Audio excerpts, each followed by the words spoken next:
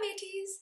Now that I'm officially done with my first year at Cambridge as a natural sciences student, I finally have time to address a question that I get asked a lot. So, how hard really is your degree?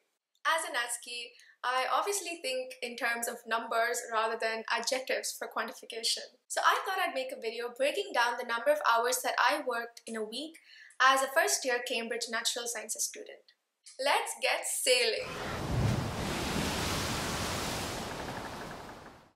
Before we begin, let me break down some relevant Cambridge jargon for you. Number one, NatSci. NatSci is just natural sciences for short. It can be used in the context of me just saying I'm a NatSci student or that I study Cambridge NatSci. And number two, supervisions, or SUPOs for short. A supervision is a small group teaching session where a group of one to three students are taught by an academic. It often includes work that is set for the students by the supervisor, who is the academic, and this work is subsequently marked and feedback is given during the supervision. In first year, all NatScis need to take four courses one math course, and three science courses. In my first year, as a biological natural sciences student, or as we are called BioNatScis, I took mathematical biology as my math course, and for my three science courses, I took biology of cells, evolution and behavior, and earth sciences. Let's now come to the components of a typical NatSci week in first year. The work hours in a typical Cambridge NatSci week can be split into two categories.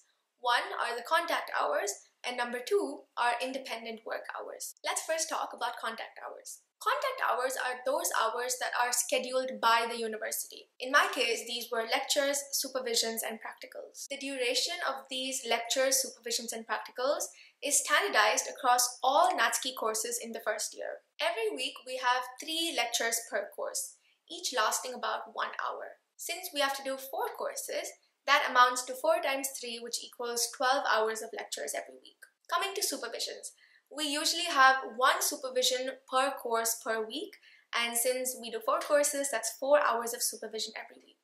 The last component of contact hours are practicals. Every first year NatSci course needs to have 3 hours of practicals every week for its students. But how each course meets this requirement varies. For example, for my Earth Sciences course, I had one hour practical sessions three times a week. On the other hand, for my biology of cells and mathematical biology courses, I had one three hour practical sessions per week. My final module, evolution and behavior, scheduled practicals fortnightly, that is, once in two weeks, but these practical sessions were six hours long. Regardless of how each course chooses to schedule its practicals, our practical sessions amount to 12 hours a week. So considering lectures, supervisions, and practicals, we have 28 contact hours every week. Keep in mind that as first year Cambridge NatSci students, we have one of the highest contact hours in comparison to any other Cambridge undergrad degree. Since first year NatSci is quite intense and is intended for students to explore various sciences, the grade that we get after our first year final exam does not count towards our final degree grade, which I think is great. Coming to component 2, independent work hours. During every supervision, each supervisor assigns a certain amount of work that needs to be done and submitted to them before the next supervision. And since the term is so fast paced and the amount of content that is taught to us is quite overwhelming, it's important that we keep making notes and revise regularly throughout term. In comparison to contact hours, independent work hours are quite difficult to estimate. They depend on various factors. Number one is how productively each student works. For example, one student may complete a task in one hour, while another may take nearly three hours to complete the same task.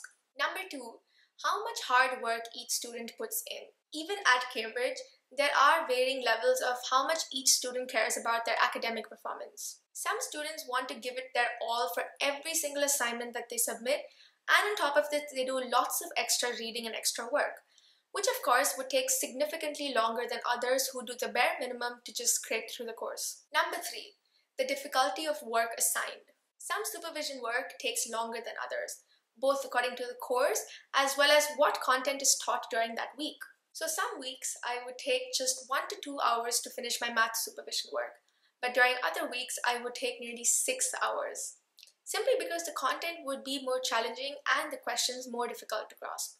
Keeping all of this in mind, here is just a rough estimate of how much time I would spend every week on my independent work. For my supervisions, I would spend about two hours per course every week.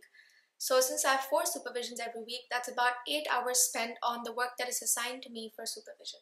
For each of my practical sessions, I would spend nearly two hours for revising that content. So since I had four practical sessions every week, that's about eight hours of revision for practicals.